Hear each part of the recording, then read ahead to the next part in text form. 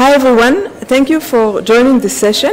I'm very happy to be here in person in uh, London and seeing everyone in, you know, live uh, 3D, like everyone mentioned. And uh, so this is really great, uh, Open Source Finance Forum, I think it's very important. And I'm, I'm here to talk about one of my favorite topics, the challenges of deploying real-time AI for finance and how open source software and tools uh, can help. And I'll focusing specifically on feature stores. So I'm uh, Nava Levy. I'm uh, an, an, AI dev advocate at Redis. Um, Redis is the super fast uh, open source uh, um, real-time database used for uh, real-time applications and use cases. And uh, we are the home of the open source Redis, as well as Redis Stack and Redis Enterprise, which extends Redis to you know, enterprise tiers and capabilities, and I'll talk a little bit about that as well. So uh, we'll start off by uh, the challenges of deploying real-time AI for finance. Uh, what are machine learning operations and specifically what are feature stores and for real-time AI? And uh, towards the end, I'll go through a few case studies specifically in, in fintech, in finance and banks, uh, using open source uh, tools to deploy real-time AI, and as well as how to get started with two great open source feature stores, uh, Feast and Feathr, uh, with Redis as the online feature store. And I'll explain what is online feature store and what are feature stores, uh, etc. Okay, so I think the good news is that uh, the adoption of AI in finance is, you know, is growing, and this is uh, from a study by KPMG that shows that uh, year over year there was a 37 percent point increase for adoption uh, of AI in finance, and this is much more, for instance, if we compare it to the tech sector, which only had a 20 uh, percent points increase year over year, so it shows that um, that really uh, uh finance are, you know, uh, get, getting excited about the value of AI and machine learning. And uh, when we look at um, you know the use cases that uh, that that uh, banks and, and financial services companies are deploying, then they, we can see you know uh, use cases that are more specific to the finance domain, like fraud detection and loan approval and anti-money laundering. And, uh, uh, but we can also see more generic application to use cases like chatbots and recommendation and lead scoring, which is important for any a business that is involved in digital transformation, and all of this is really driven by digital transformation, by disruption from digital natives, by uh, the low interest rates, by the threats coming from uh, cyber criminals who themselves are using AI and machine learning, and ultimately the need to improve customer experience and uh, uh while not, not, not uh, uh, you know, keep, keeping the cost low, at least doing it cost effectively. And over time, we see that those use cases are becoming real time. And that means uh, that uh, they have to be uh, deployed in a way that uh, the response is instant without the customer even being aware that there is a machine learning engine running in the background, okay? Uh, and deploying these machine learning uh, Uh, use cases uh, to production is very hard and complex. Doing it for real-time use cases, it's even harder. And this is why we see that most models, machine learning models, never make it to production. And some that do make it to production, after a while, they crash and burn because of all kinds of issues. And this led to the developments of the domain that is called machine learning operations or platforms, MLOps platforms, that basically bridge the gap between what a data scientist develops on his Jupyter notebook okay, the experiments that he creates, uh, between what it takes to deliver a, a system, an AI-based system to production. And there is a huge difference, okay? And the, on the, the heart of this uh, machine learning operations platform, or the cornerstones, are what is called feature stores, okay? So it's a component that uh, is becoming more and more important, and I'll explain uh, what, what they are uh, uh, in, in a little while. Uh, in this talk, I'm going to be focusing on two open source feature stores, or more likely, two open source feature stores, Feast and Feathr, and Redis as the online feature store. And the online feature store, as you will see, is the critical component for delivering real-time AI. Okay, the feature store is very important for a lot of things, and we will uh, cover them. But the, the most important uh, uh, component for real-time AI is the, the online feature store, which is, you can see in both of them, is uh, with Redis. Now, um, the, the, the Feathr uh, feature store is a, is a feature store that came from LinkedIn just a few months ago. LinkedIn decided to open source their battle-tested uh, feature store after many years, and uh, you know it's for us to use it. And, and Gojek already in the beginning of 2019 decided to open source their feature store uh, LinkedIn did it with the collaboration of Azure and Gojek with, with the collaboration of Google. And, and we have Feast uh, to use, and this, this is the most popular open source uh, feature store today, Feast. Um, and it's interesting because I, I, don't know how many familiar with Gojek. LinkedIn, I assume all of you are familiar with, but Gojek is like the Indonesian uh, Uber. Okay, it's, it's, uh, I saw a market cap from a year ago of uh, $10 billion uh, market cap, so it's a huge company. But back in January 2019, it was more was a much smaller uh, company, as you can imagine. And uh, then it used the Redis open source. But only recently, they, uh, due to the scale that they have to operate, you know, managing the scale and man managing it cost effectively, they decided that they need, you know, they outgrown their Redis open source and they, they need Redis Enterprise, okay? And this is that just to get, uh, uh, some, somebody asked me, does Redis uh, open source can comply with enterprise capabilities? Yes, with Redis Enterprise we can, and, and it's, a, it's a, um, the finance vertical and telco and government and healthcare are uh, you know, some of the biggest uh, vertical industries for Redis Enterprise, specifically because of those uh, reasons. And uh, when, we, when you look at those, at, uh, you know, those, those architectures, you can see lots of logos, and a lot of them are open source software and tool, right? Uh, but uh, this is really just a fraction, a very, very small fraction of the open source tools out there that exist for machine learning and AI. And when we look at them, it, they cover every category and every, every stage of the life cycle of machine learning project, from data management, to uh, training the model, to deploying the model, to monitoring the model, ma ma maintaining the model, uh, in all, in really every aspect of it. And this is also just a small fraction. There are thousands of such open source uh, software and tools. And of course, not all open source software and tools are alike. So it's important to make sure, you know, what is the popularity of the, of the tool. Uh, does it have enterprise support? Um, and, and many other aspects. Uh, but when we look at, um, at open source uh, software for machine learning and AI, we see that for every category, if you look which, which is the leader, which is the best of breed for every category, most of the time it will be an open source tool. So basically, we wouldn't have seen the innovation that we see today in machine learning and AI without open source okay, the researchers, uh, companies wouldn't have been able to, to, to reach, you know, the amazing uh, breakthroughs that they have, uh, uh you know, that were done, and the value uh, to, uh, without open source software and tools. And as I said, we're going to focus on Feast, Redis, and, and Feathr. And you can see the cards here of each of them. I just want to mention that Feast is also a Linux Foundation project. It's a sp specifically a Linux Foundation AI and Data uh, Foundation uh, project. Now, uh, when we look uh, what, what problem, what, what problem or challenges do feature store address, okay? So what they address is the most uh, difficult problem or the, the most time-consuming problem uh, that data scientists have to tackle with, and it is the data management.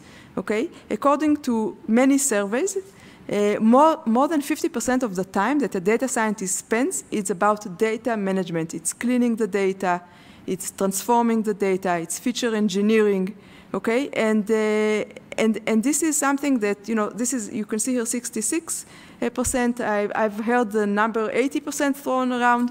Doesn't matter, it's more than 50% of the time. And according to many companies, it, this is the, the, one of the, the most uh, crucial bottlenecks uh, for productionizing uh, machine learning models. So feature stores deal with this, with this problem. And when we look at, at, at, how, at how, what are feature stores and how do they do that, so here you can see a very simplistic view where the feature store sits. So there is the raw data and there is the model, and in between there is the feature store. And uh, the model can be for pred predictions or for training. And between the, the, raw data and the feature store, there is the feature engineering. And just that if, if anyone here is not familiar, features are just you know, a fancy way of saying data inputs for a machine learning engine to consume, okay? So if we have um, um, the, the, year that I was born, okay, then uh, a transform feature would be um, my age, okay? For instance, this is very simple. Or it could be the last transaction, so a transform feature could be the average uh, size of a transaction, okay? And the feature could be it, it could be a categorical uh, feature, like uh, maybe uh, uh, what, what nationality I am, okay? It could be numerical. It could be an embedding, a vector embedding, a learned vector embedding from deep learning, machine learning model. And it could be even an API, okay? And um, so, so this is where uh, the feature store, uh, uh, what the feature store is, and then you need to extract those features for model prediction and for training. And for real-time application, you need to extract those features very, very fast. So the challenges that feature store address is serving features for real-time prediction with low latency, and this is the most important a, a challenge uh, that Feature Store uh, address in terms of real-time applications. Without it, there isn't a real-time application, okay? It just isn't. Then the, the second uh, challenge, which is also very important, is avoiding training serving skew. What happens is that we, we train the model, we reach a level of accuracy, and when we deploy to production, there is a often a deterioration in the accuracy. So if we reach 95%, it could be 85%.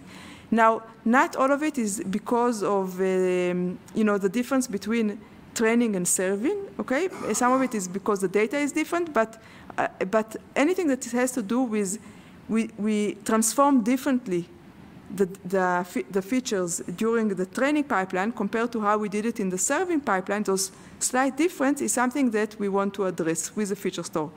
Then there is the issue of if I developed a feature for one use case, then there shouldn't be a reason why another data scientist in my company should reinvent the wheel and develop, you know, uh, the same feature for his use case. Why not reshare features across use cases?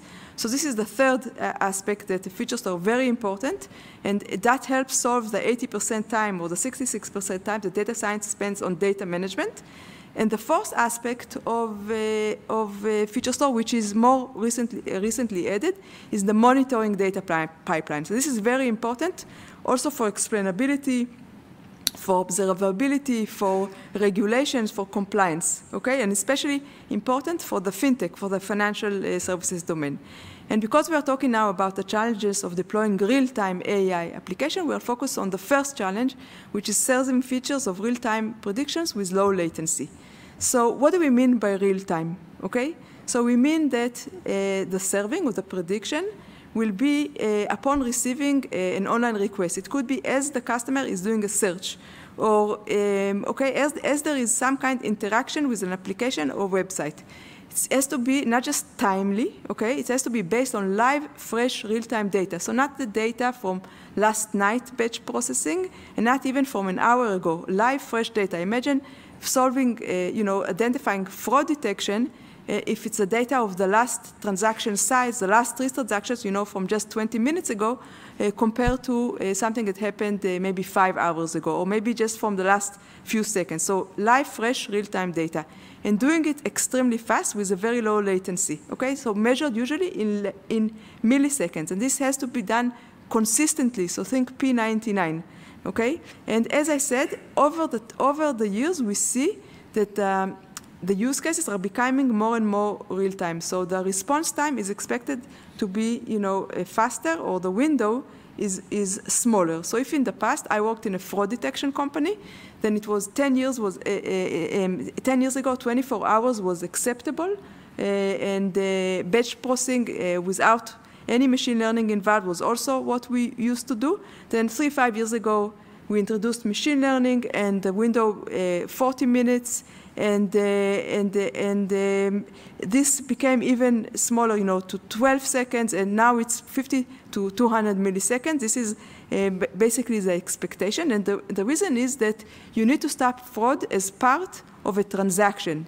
and a customer isn't going to wait uh, for the transaction uh, to be executed. He, he, expects instant response. And if there is a problem with the, uh, the machine learning engine that is running in the background, okay, then either it will give a false positive or false negative, which is not good. You know, money is going to maybe lost, or there is going to be a, a bad customer experience because he didn't yet get his transaction approved or, or, vice versa. So this is why it's so important um, to do it uh, consistently and in real time. Now, this end-to-end -end latency is made of a number of components, the network latency, the application pipeline, maybe it's the e-commerce uh, application, serving the features, okay, extracting those features and feeding it to machine learning model and the model scoring, okay? So all of it has to be less than the end-to-end -end 200 milliseconds or 100 milliseconds, whatever the case is. And, uh, and this is very, very difficult. Uh, uh if we look at um, the pipeline, uh, for real-time AI/ML, there are lots of places, a lot of the choices that we can make that affect uh, these end-to-end latencies. So what are we using for the feature engineering, you know, from the streaming sources or from the batch sources? Uh, what, uh, what are we using for, uh, for, for the computation of, of the streaming? For the feature serving, what, what method are we extracting those features? Are we using a Lambda function? Are we using an HTTP server, a Python HTTP server? Are we using a Java gRPC server? For instance, our friends at Feast, the open source feature store that I told you, they found that there is a huge difference between using a Java gRPC server and an HTTP Python uh, uh, server. And, uh, uh, and while for data scientists it's much more convenient convenient for us to write in Python, Java and Go often will be uh, more, you know, faster, more, more efficient. So you need to, to, to check what, what is the best for your case. Also in the serving, uh, you know, the serving part, we can optimize. We can use hardware accelerators, GPUs, TPUs. Uh, what, what, what serving engine are we using? Maybe we can make the model smaller so it will, will be more efficient. But what, we what companies found that the most important component to optimize and the, the, biggest source of bottleneck is the feature store and uh, the, the, the, store that stores those features or data inputs for the machine learning model um, uh, for inference. And uh, this is why it's uh, implemented with an in-memory database compared to a disk-based database and often uh, for high scale or most often for high scale or low latency use cases, Redis is, the, is the, the, online feature store that is selected for those uh, feature store. And the reason for it is, is basically benchmark, benchmark, benchmarks. Uh, because it's such a critical component, companies, bef before choosing their online feature store, they, they do thorough benchmarks, and sometimes they share those benchmarks with the community. And, uh, and this way, we can also enjoy, you know, the benefit of their, you know, their benchmark and their work. And this is, this is a really nice thing about the machine learning community in general. And uh, so you can see here benchmarks from Uber uh, and from DoorDash and from Feast Open Source and Tekton, the commercial uh, feature store. I'm not going to go on every single one of them, but the, the, and there are links to all the benchmarks. But the, I think the key takeaway is that Redis is by far the most uh, performance in terms of uh, throughput and latency. And not only that, it's the most cost effective. And I think this is something that isn't very intuitive to many people because memory is more expensive than disk. So how come Redis is, is more uh, cost effective compared to, let's say, DynamoDB here? Uh, uh, it's 14 times less expensive according to Tekton. Redis Enterprise compared to uh, DynamoDB is 14 times less expensive, at the same time, much faster. So the reason is that it's just a much better architecture uh, for it. And uh, um, here we have a, a Cash App, Block Cash App. I don't know if you're familiar, familiar with it in, from the fintech a very, very successful uh, startup from the fintech world. And uh, this is just from a few months ago. Uh, it's a very good uh, talk. They're explaining how, by moving from DynamoDB to Redis, they shifted the entire latency curve. So they went from 30 milliseconds to 10 milliseconds. And I, I, encourage you to watch the, the video. You will see how every latency, every milliseconds of latency counts, you know, and anything that can be done to optimize is, is being done. And here's DoorDash. They explain how, using Redis, they moved from different data structure, uh, and by that they reduced the latency. So Redis isn't just a key value store, it's a key data structure store. Any data structure that you can think of JSON, Graph, Time series uh, can be implemented with, with, uh, with Redis. So it's not just uh, improves the developer uh, experience, okay, developer productivity, it also has an effect, an impact on reducing cost, improving performance. So here they moved from a, a flat key value pairs to Redis hashes, and they improved the read latency and the memory footprint by 40 percent and uh, CPU efficiency by 5x. And this translates to money. And why is it important? The online feature store for high-scale use cases can be more than 50% of the total cost of the, of, the, of the machine learning operations platform. So any savings you can do you know, with your feature store is really beneficial. If you have a few users, you know, and the use case isn't very successful, then it doesn't really matter. But for, for when those use, case, use cases become successful, and that's what usually happens, then the data sets become larger, the throughput, the, the number of, uh, of transactions per second, or reads per second, or queries per second, are, you know, go into the millions, and then the cost is much larger, and, and, and optimization is important. Now, up till now, I talked about Redis open source, okay? And Redis open, open source, 90% of or more of the organizations use Redis open source, and they enjoy all this goodness. So if it's the, the scale, the, the low latency, high throughput, the persistency, okay, um, and uh, the different data types, uh, but, but, so this is really good. But for telcos, for uh, uh finance vertical, for governments, for healthcare, this isn't enough. We all know it's not enough. And also for other verticals when they become a very large scale, like the Gojek example that I gave you. When they were a startup, they could do with Redis uh, open source, but now that they are much bigger and much more successful, they don't want to manage the Redis clusters themselves. They move to Redis Enterprise. And another customer, the use case became so successful, they, don't, they wanted to save 50% of the cost. They went to Redis Enterprise. And another bank, uh, they wanted something to have five nine availability, three nine availability wasn't good enough. They wanted the security uh, and all the things that uh, Redis Enterprise can give. So they went with Redis Enterprise. Okay, so you here you can see uh, what uh, Redis Enterprise gives on top of Redis open source, and I think that it was mentioned earlier in the keynote the importance of COSS, commercial open source software. So uh, it's great, uh, open source is great, but being stuck with a, a great open source technology, but without 24-7 support, and uh, you know, waiting in the forums or Stack Overflows that somebody might respond is not something that uh, is good for every company, okay?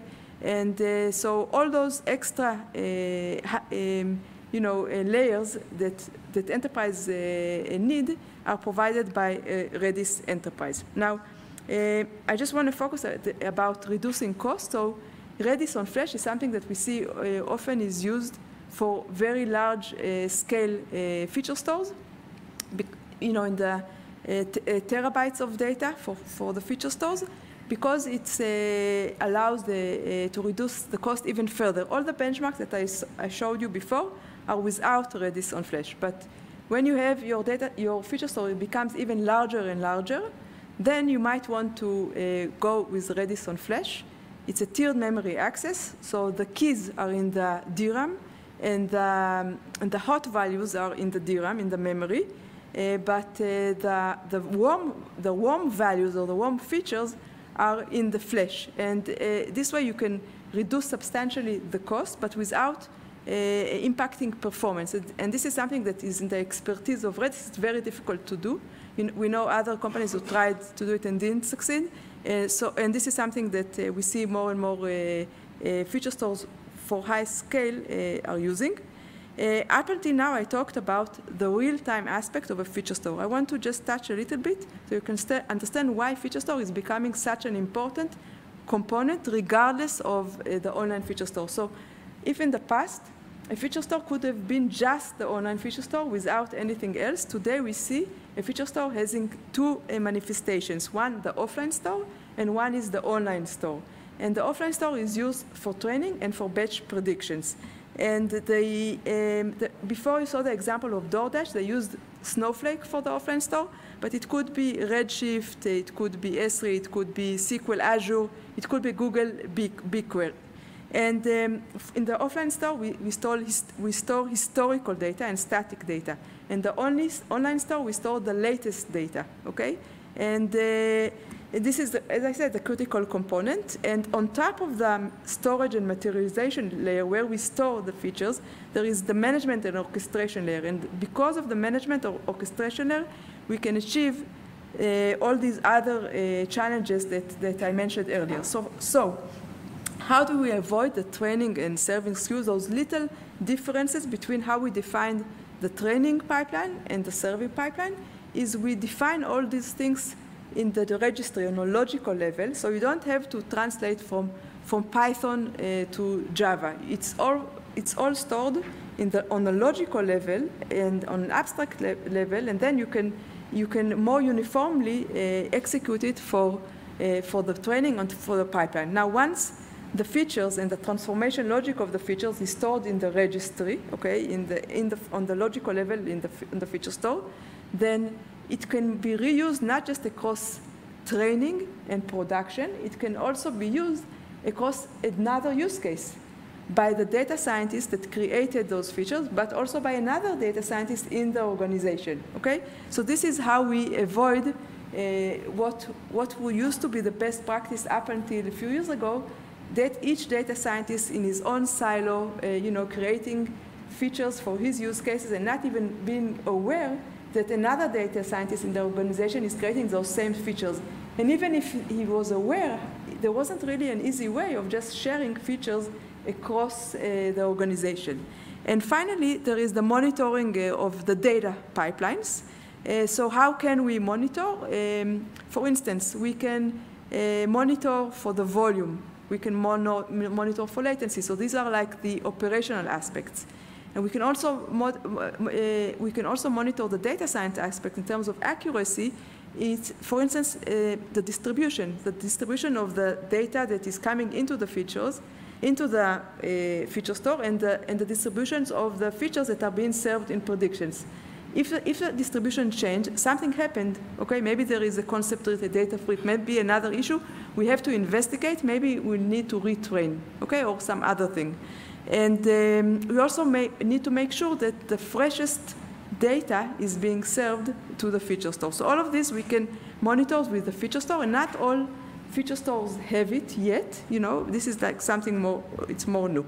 Now, why is it so important? In uh, uh, AI, and especially for finance, is, uh, is going to be very uh, highly regulated. And there are lots of uh, new frameworks, regulations around AI and specifically in finance, uh, the demand that there will be a monitoring and, uh, and uh, logging and explainability and make sure there is no bias. Why? Because finance, maybe for finance vertical, maybe more than any vertical, any decision that an AI makes can have very a big impact for good or for bad on the people. Okay, you can't get a loan, you can't get credit card, uh, this is a, a, a, this transaction is fraud, and it's not. Okay, so uh, so this is why there is a, demand, more and more demand for you know for for uh, AI to be governed, and so this is the example of the EU AI Act. They define it's a risk-based approach. So high risk are applications that uh, banks do, underwriting of loans, fraud detection, transaction scoring. Not just that. Okay, it's not. They're not picking on finance, there are also others, but, but definitely those. Now, chatbots in banks, they will be under a low risk, and they, the only observability, if you start talking to a chatbot, that the chatbot would just say, hey, I'm a chatbot, I'm not real human, so that's it, just transparency, that's it. Uh, and then there is also Project FAIR, we are here in the UK, so I don't know if you're familiar with it, so Project FAIR is in partnership between HSBC and the Alan Turing Institute, and FAIR is a framework for responsible adoption uh, of AI uh, in finance, specifically in finance. I think it's very important because the more we have such, uh, such initiatives specific to finance and, and more, more companies uh, will be involved from the finance world. So the same is open source. It will, be, uh, it will serve everyone, right? Uh, and, I, and when we look at the feature store and what are the expected, this is just a draft, right? What are the ex expected the requirements? Um, then we can see that feature store really can help in every, almost every aspect of those uh, requirements. Now, um, I wanted to touch a little bit about case studies of, of uh, online uh, feature store with Redis and with Feast and, and Feathr. So in general, when we look at, and on the left you can see uh, companies using Redis as the online feature store. Uh, most of them are not using open source feature store. Uh, they're not using commercial uh, feature store, they're using a do-it-yourself feature store. They develop their own feature store and they're using Redis as the online feature store. But this is changing. More and more companies are now adopting open source, and I expect that in the, in the, in the future, more and more companies, uh, smaller, you know, small, medium enterprise will, will adopt commercial open source feature stores, and Redis is, is, can, you know, often deployed in any of those cases. And when we look at, um, at, at specifically at fintech companies, uh, then uh, I put dollar sign, okay? Next to the companies that are uh, from the fintech, and uh, there is uh, there are also two banks here that you know banks are more more shy. Okay, so I didn't put the logos and. Um, and which ones are using Feast, I put also here. You can see which ones are using Feast. The, the reason we don't have, have Feathr is Feathr is really uh, just a very new open source feature store. It's an old feature store at LinkedIn, but it's a newly open source feature store. And it, now I think it has uh, just over 800 stars, and Feast has 3,000 stars, but it's growing very, very fast. So I would follow Feathr closely. They have some advantages that, that Feast doesn't have. Both are great open source feature stores. And here I, I wanted to focus a little bit about uh, use cases that are used for uh, specifically in the uh, banks and, uh, and, and financial services. So we have uh, um, online mortgages companies Better, which is you know a very popular uh, um, company, uh, Cash App that we talked before of Block, um, a very large uh, bank, very very large, and Robinhood, uh, which is also I think uh, commission-free stock trading is, is also very well known, and you can just give you an idea of those scale. Okay, so online mortgages Better.com. Um, they have almost a billion dollars in revenues. They grew 10x a year prior. I think this is really important. When we look, and Redis, we, we are in a vantage point to look at those uh, companies. They are growing very, very fast. They're using machine learning, and, and the fact that their online store grows very fast means that their, their, um, um, their machine learning uh, use case is very successful, okay? Uh, so they go uh, 10x a year prior. Uh, mobile payment service Cash App of Block, what was called Square App, uh, 70 million annual transacting users, uh, 1 billion gross profit. Now you might say, ah, compared to banks, this is nothing. But remember that this is just one service, okay? It's not all the service, and it's growing very fast, right? So a very, very large bank, I think top five, okay? And Robinhood, 30 million users, 2 billion of revenue. So all of them are using a real-time AI at scale, okay, and uh, very successfully. And they're using a, onli a online feature store Redis, and, and two of them are using Feast uh, for the open source, uh, the feature store. It's not a do-it-yourself feature store. Now, the, the bank specifically here, you can see that it says enterprise. It means that they, they're using Redis Enterprise. Sometimes companies start with Redis open source. They outgrow Redis open source, and then they go to Redis Enterprise, like the case of Gojek. Uh, and, and sometimes they go directly uh, to Redis Enterprise, let's say from a, a slow disk-based uh, database like DynamoDB in the case of this very large bank, or for you know uh, just you know from nowhere. Just they just you know have a use case and they're looking for the best option, the best of breed option. Uh, so these are real-time high-scale use cases. Uh, here uh, there are links, and uh, and I'm also going to share all the all the links in the recording on YouTube. Okay. Um, um, so, but you can see here in the architecture that the, the, the data sources are many many data sources to the feature store from. There are several offline feature stores, uh, streaming st several streaming sources, and they're using uh, TTL, uh, time to live, of, which is a native uh, Redis uh, capability, uh, to make sure that the, the, the, streaming features that, that populate the online feature store don't just clog it, you know, just, and, and, and, and, they will just expire after 24 hours or 48 hours. This is a lead scoring um, use case, okay?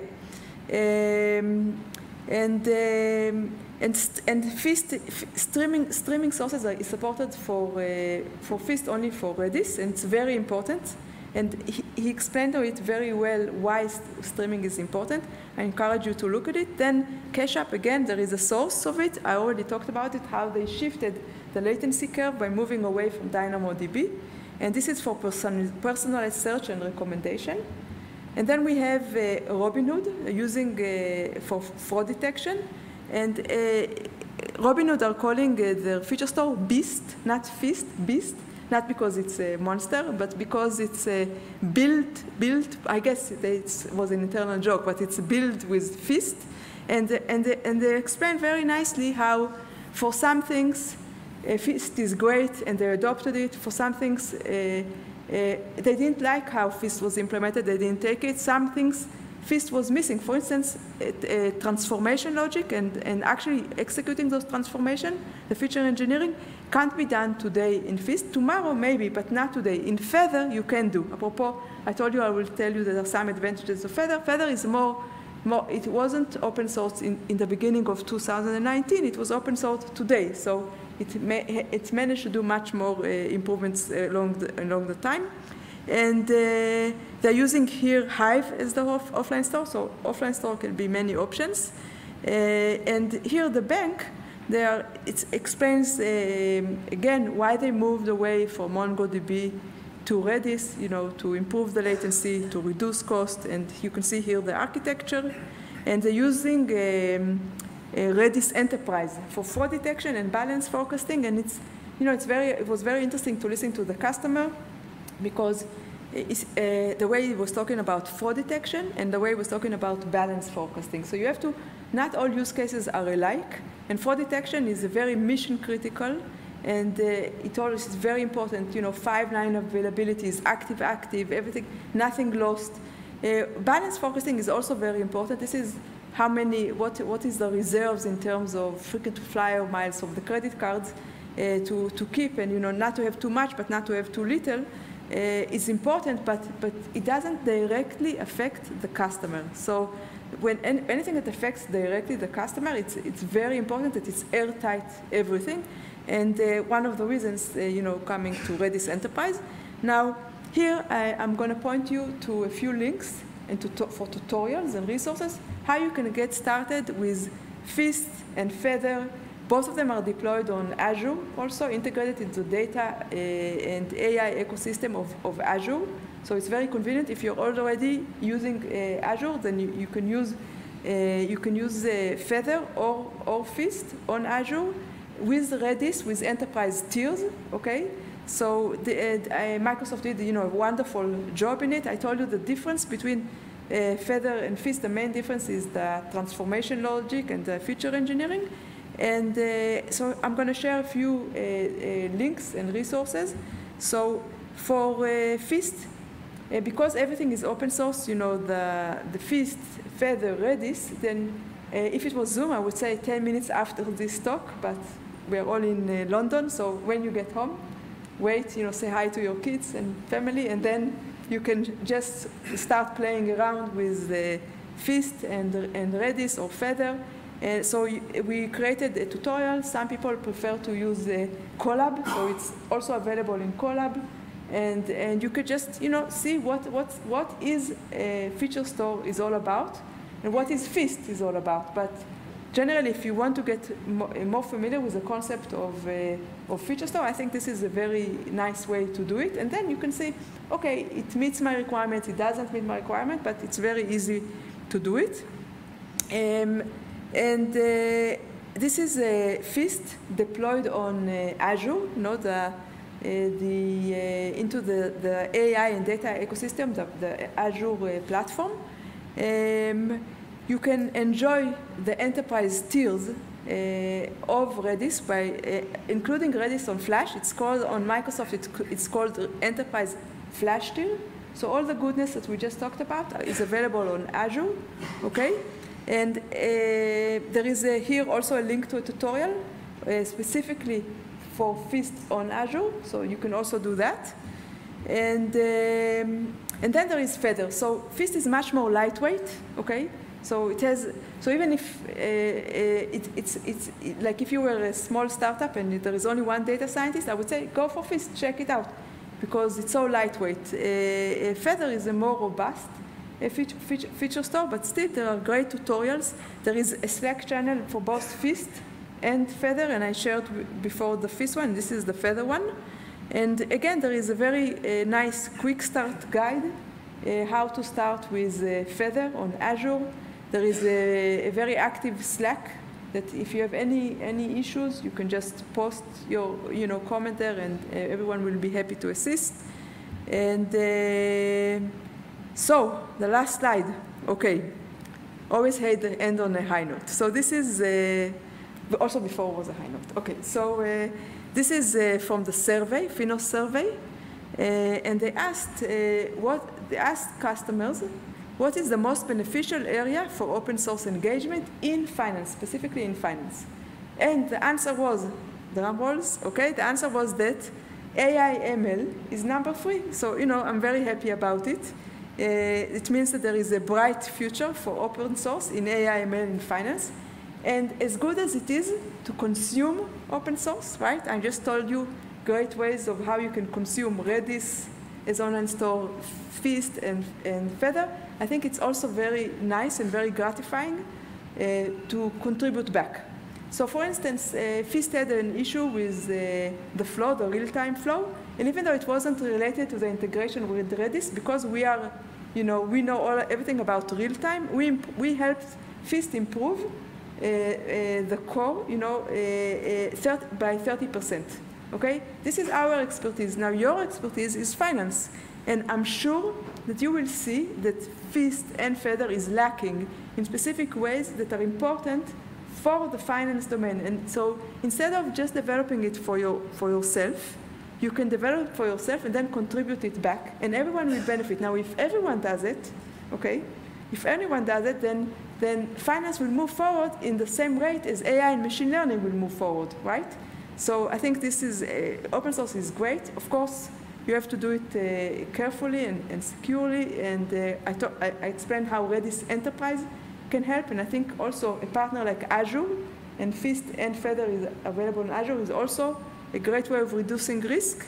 And uh, that's it. So I look forward to seeing your contributions. Thank you very much.